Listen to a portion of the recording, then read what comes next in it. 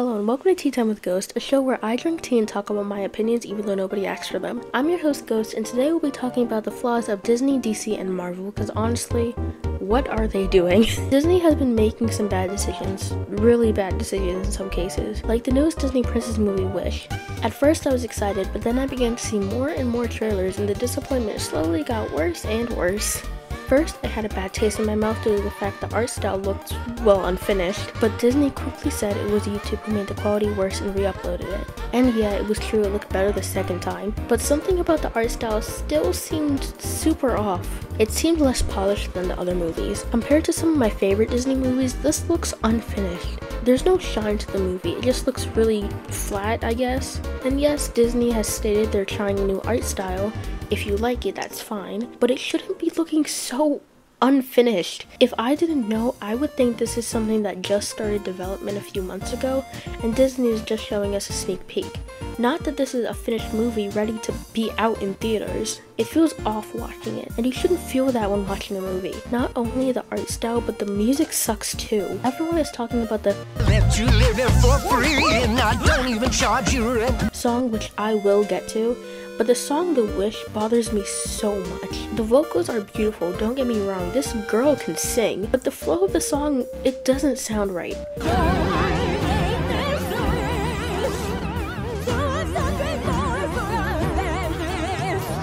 That in itself sounds off. It goes from a smooth to a bunch of words mashed together ruining the flow. And it's not even just these lyrics.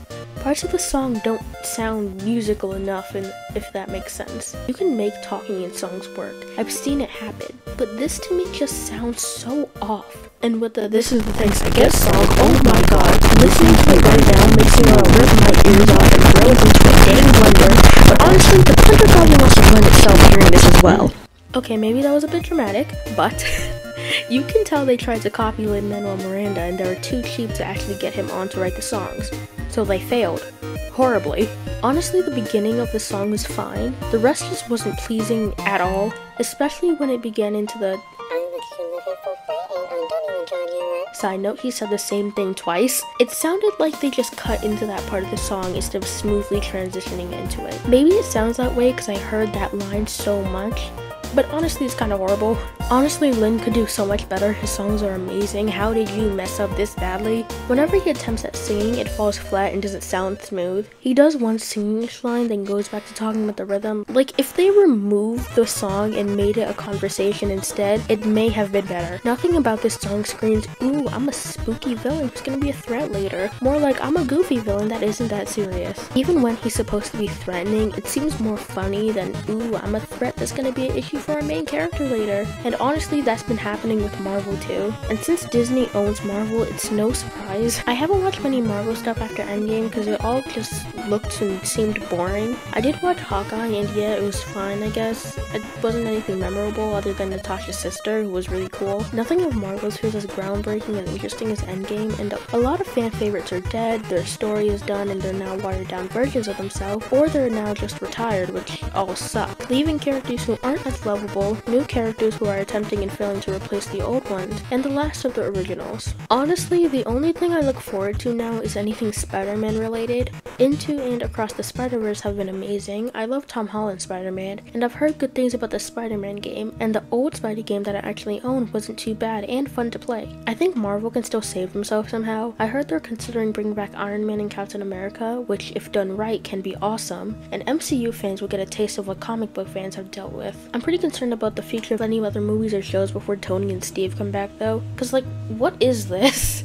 Again, with the goofy villain thing, if I wanted to watch a kids show, I would have. Actually, no, even children's shows and movies have better villains than this. Look at any older Disney movie. Hans was the best villain in my opinion. When I was little watching this, I was flabbergasted, because child me would have never expected him to be a villain, especially since my favorite song was Love with an Open Door. I was heartbroken. Mother Gothel from Tangled is also amazing, and Te Kā from Moana, who ended up not even being a villain, was amazing as well, and I'm pretty sure she didn't even talk. Hawkmoth from Miraculous Ladybug is better than this, and those are all movies and shows targeted to kids. And Marvel can even put some effort into making him even look threatening. What what is this? Like, it's so stupid. It's funny. Even the Lego Batman movie, who is often just a joke movie, I personally haven't watched it, but I've seen clips on TikTok, and it seems better than any recent MCU project and Wish combined. I'm being a bit harsh on Marvel when it did make some good movies, like the newest Black Panther, which in my opinion wasn't bad, and I've also heard Guardians of the Galaxy was pretty good as well, but then there's stuff like this, and it just makes me think why. Cause you made so many good things in the past, so many good movies, so many good everything, so what are you doing now? I can't really fully speak on Marvel's situation because I'm more of a DC fan, so let's move on to that. The DC live action movies have been an absolute mess, and what gets me the most angry is the Flash movie. I couldn't get through the whole movie because the fact Ezra Miller it was the one playing the Flash made my skin crawl. So I won't criticize anything other than what I watched, which was a few minutes into the beginning. It felt cringy. The scene where he was saving everyone felt like it took forever and was so boring, ironic because he's supposed to be the Flash. The microwave baby scene was so what the frick?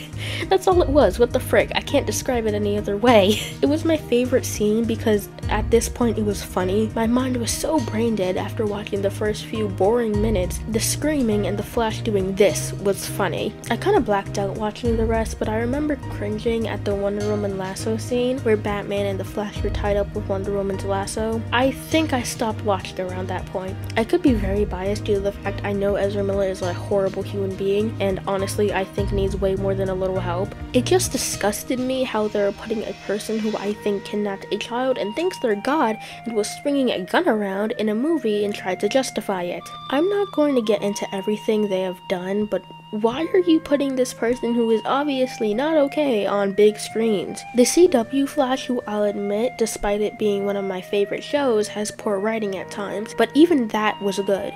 Grant Gustin was good, and now will forever be a standard for what we need as the Flash until we get something better, and you gave us this mess. You should have been able to do better, and I know you can because of these two amazing movies right here. From what I heard, this movie sucked. Moving on. The other DCEU movies were just a bit of a blur. I watched most of them back to back, and all I remember was boredom. Ooh, Aquaman is cool. Haha, Freddy Bruce Wayne, I'm rich. I'm rich. The only moments that stood out was Aquaman because I thought he looked cool, and that one slight chuckle they got out of me during Bruce Wayne's I'm rich thing, which I thought was a bit funny. I didn't hate all the movies, none just really stood out to me. What did stand out was the Batman 2022 movie, which, oh my god, I'm in love with. Zoe Kravitz and Robert Pattinson did such an amazing job, and if I ever get to meet any of them, I'll die happily.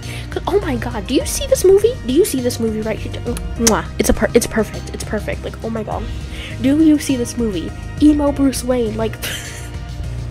this isn't the playboy we know and love. This is an antisocial, awkward, depressed guy who dresses as a bed every night, and I'm loving it. I love it so much. Oh my god.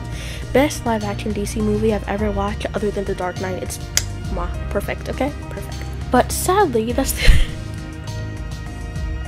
like, oh my god, it is so amazing. I just can't. I would not like, talk about this all day.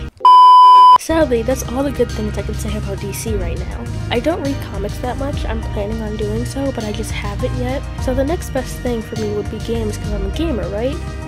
Wrong. I'm still concerned for the future of DC outside the Joker and the Batman 2022 movie. Once those are over, what are they gonna do? The newest Arkham game has so many flaws, like the fact it's a Wi-Fi only game. This means it runs on an online server that can be shut down. And this Arkham game is the last voice work of Kevin Conroy, who voices Batman, who has also sadly passed away. Once the servers inevitably get shut down, no people ever be able to play or see this game again outside of YouTube videos, which honestly really sucks. I don't know why they had to do this. They I don't think there was a reasonable reason. Like, what? Why would you do this? There could be an online mode for multiplayer and an offline mode with no Wi-Fi needed for single player like most games have. Injustice, for example, a fellow DC game. When the servers do close, I'll still be able to play by myself against bots or with friends as long as we play on the same device. But with Suicide Squad Kill the Justice League, I won't be able to do that. One day they will shut down and it will be gone forever outside of YouTube videos or any online videos, which kinda sucks. I'm pretty sure no other Arkham games are like this, so what is DC doing? Why are you making this mess? At least the animated movies and shows are good. I love anything regarding the Titans and John Constantine, but all the CW shows have ended and being cancelled sadly, and recently all the live action stuff has been bland. So what can these companies do to fix this mess? I think the number one thing is listen to your fans. DC, your fans have wanted a Superman game for so long, but every time someone brings up the idea, it gets shut down. I'm pretty sure the art, the recent Arkham game that's gonna come out was supposed to be a Superman game, but DC didn't want that. Disney, your fans have been wanting a old school 2D movie like Snow White, but instead you tried to mix 3D and 2D and it ain't working for you. Like, don't do that ever again. And Marvel, I don't know what to say to you. Again, I'm not the biggest Marvel fan, but I feel like it's been a mess and the movies are really hit or miss, so yeah. If you want some good content made by people who actually listen to their fans, watch stuff made by indie creators. They actually listen and will answer because they care, unlike big companies who clearly don't care and just want money. Even if the faces behind the company we don't see, like animators, voice actors, and writers are passionate, the people in suits at the top aren't and will never be. they want money and they want it now, while indie developers, in my opinion, obviously care. Go watch the Amazing Digital Circus pilot, go play Undertale, look up a list of indie games or shows or anything you're interested in and you'll find something good. Better than what these companies are spitting out. It's good to support indie developers more than evil companies like Disney who do horrible things. More of the story, Disney is dumb. Hi, I hope you enjoyed my first video. I actually made videos before, but um, not like this. I've I've only made videos for four years, but none of them really involved my voice. I just made weird gacha videos or Roblox and even edits at some point, but it didn't really feel right anymore, so I decided to do something new. Growing up, I always watched creators like Jaden Animations and The Odd Ones Out, and I always wanted to do videos with me talking about whatever I like and showing off my art. I'm actually a beginner artist, and I always wanted to draw, but I never did. So in September, I was like, I don't care, I'm gonna learn digital art, so I did. Hopefully I'll get to the point of creating animations, but till then you're just gonna get this little ghost on your screen. I, I can't wait to see how this goes. I'm looking forward to making more content in the near future. I hope you all enjoyed this video and enjoyed this little rant about all this, and I hope you all... I can't speak. And I hope you all have a miraculous day and stay determined. Ghost out.